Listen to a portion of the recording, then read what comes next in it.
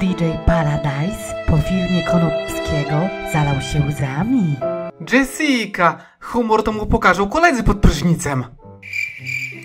Ale jakby dał smutną muzyczkę, to by wyszło lepiej.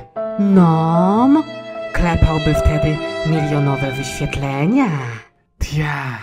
Może teraz zrobi nowy odcinek snapów od widzów? Coś ty, skarbuszko, chyba nie, bo obstrał zbroję. Jak to? Pismu obiecał trzynastki czternastki, ale on źle zrozumiał.